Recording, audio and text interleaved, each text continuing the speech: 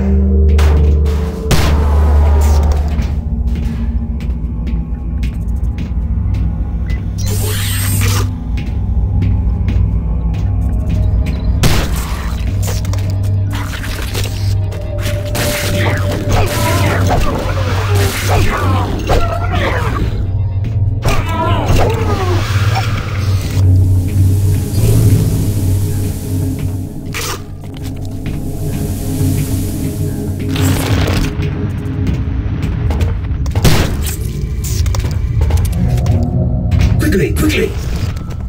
There, it is done.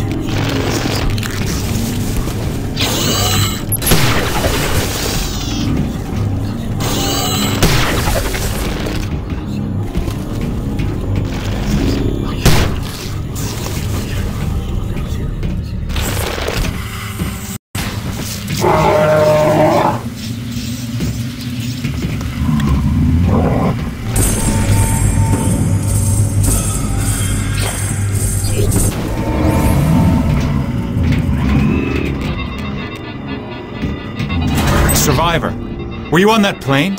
We were flying over Topeka, and then the lights, the lights, there are lights everywhere. they, they took us off the plane. They, there's a big one. It eats. It, it eats. Oh, Christ, Ben, hide! Shut the fucking door!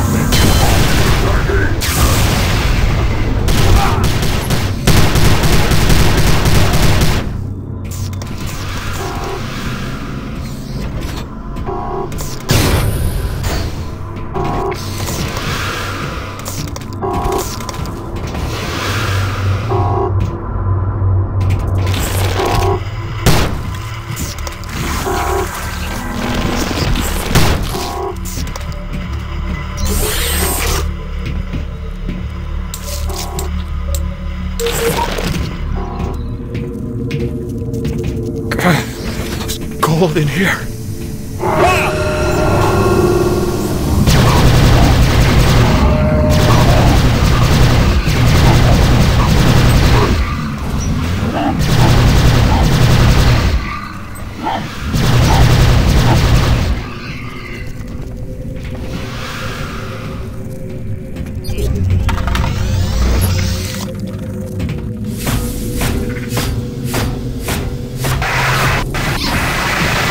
You're on the air with Art Bell.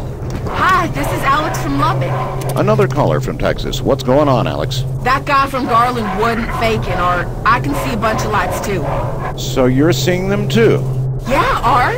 They're pretty high in the sky to the south of my house. Oh gosh, my dog's going nuts.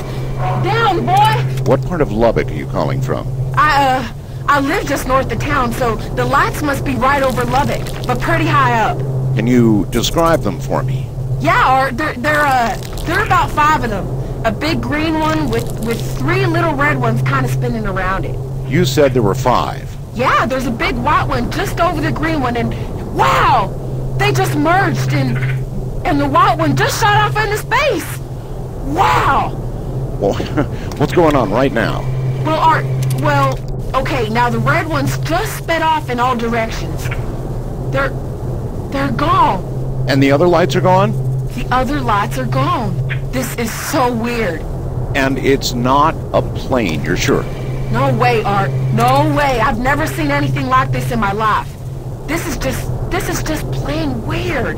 Okay, don't go away, Alex. We've got to go to a station break, but we'll be right back.